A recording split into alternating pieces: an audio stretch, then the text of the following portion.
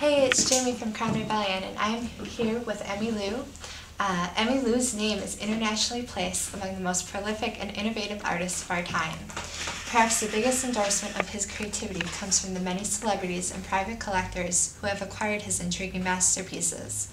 His imaginative concepts have found solace in corporate boardrooms as well as furnishing select international hotels. Just a couple of uh, well-known names that have said this about him. From Patti LaBelle, I love Emmy's paintings, especially the ballet pieces. I was tremen tremendously impressed by the variety and intensity of themes that I saw at his Beverly Hills gallery. Magic Johnson, your work, especially the jazz pieces, are incredibly impressive.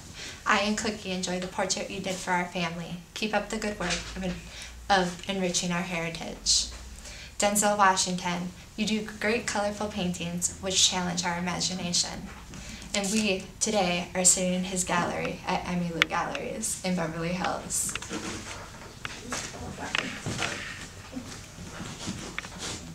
So how did you become a part of Blotto?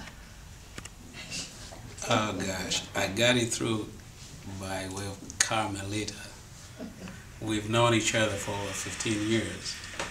And one day we're doing a big celebrity event here, and later she said, I might want to talk to you about uh, an organization you might want to get involved with. So we talked about it, and we thought it would uh, it was appropriate to have some of you people to, to do your videotaping here tonight. Great. Well, thank you for having us. Appreciate it. And then this is your gallery. Are all the paintings throughout the gallery yours? Everything. The- everything? It's one man show. I'm fortunate. Wow. I will definitely be taking a peek on what, what some of your art is later on. Thank you. And then, how did you get involved in art? Has it always been a part of your life? Since I was about three years, was your drawing, painting, and by uh, the support of my parents, who bought me a lot of materials, I was able to take it to another level as I got older. I went to university, and then I did my education part of it, which was completed in London.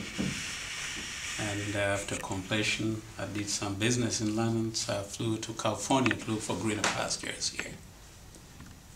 And has have you found is it greener pastures It's an, evol- it's a- an evolving process, like for everybody. California is a very attractive place for actor, for everybody. Yeah. Everybody's an actor in Hollywood, meaning Los Angeles. So we all come here for those pastures, but I took the course of creativity, visual creativity. So good. And then, have you found through your time, have you gone through any obstacles in your life with the art? And would you like to talk about any of that? I think the obstacles are more in commerce than the actual process of creating fine art. It's easier for me, probably, for a lot of other artists who paint, it's easier for them or for me to be in my studio creating what I love to do best.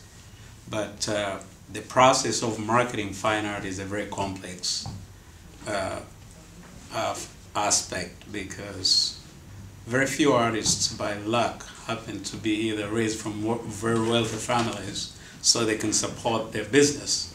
So what happens that a lot of artists, either they're self-taught or educated, which I am, uh, they tend to find a way of surviving. Some artists prefer to live on their art. That's the most difficult part of being an artist because selling art is not as easy as painting it, as I mentioned earlier.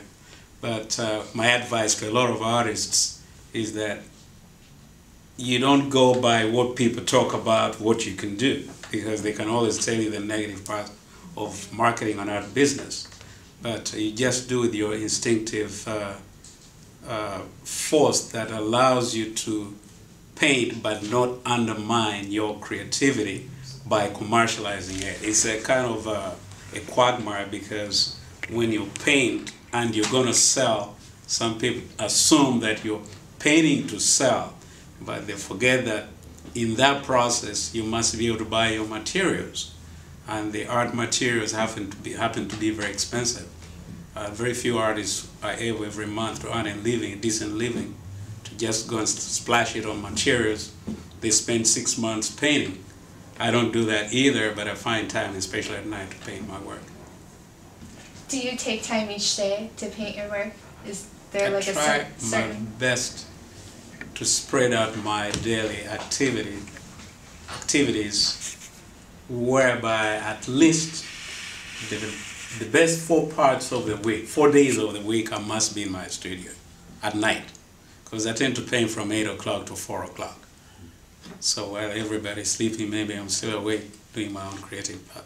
And, and do you get so involved into your own world as you're painting that no phones, you, you don't, no distractions, you're just into your world? That's why I prefer to render the nocturnal paradigm of hiding myself from everybody because at night everything's kind of solid. It's uh, it's quiet. It's serene. You know, you, you can do whatever you want without any interruptive uh, things that kind of take your, your mind away. It's very easy. It's especially, I'm sure a lot of artists here will agree. When you are painting, you're having a dialogue. It's, a, it's what do you call, I forgot the English word. It's like you're talking to yourself. It's technically when you're confronting your canvas from white. And that's what I told a lot of my friends that creating fine art is like you being a semi-god. It's not that you're God, but the process of seeing a white, a material that has nothing, to evolve that into something that looks like one of my favorite uh, painting from one of my artist friends over there.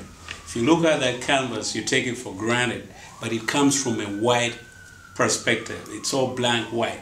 So when you paint alone, you're really conversing to yourself. How you create something from nothing to the visual, like she told me that that painting cap, cap I think it captures her childhood memories of, uh, I've forgotten what she told me, but something to do with a poetic rendering that she dwelt with the whole of her life. And she wanted, as she got older, she felt that that challenge should be uh, put in a on a canvas to be interpreted in her own perspective so that others can share her vision of childhood. So where do you get your inspiration for your art?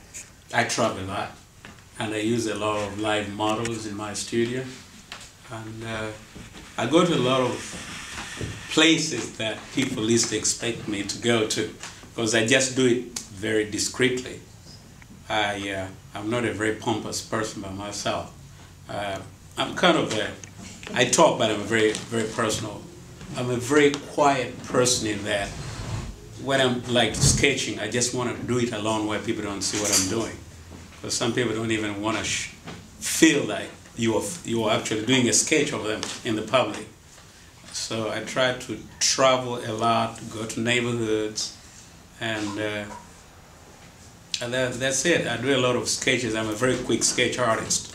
So I do a lot of my work through through small pamphlets, like it's similar to what you're holding there.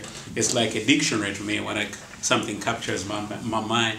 I just register it on a, a kind of a pad and then later I can develop it in my studio. Well, thank you so much for sitting down with us.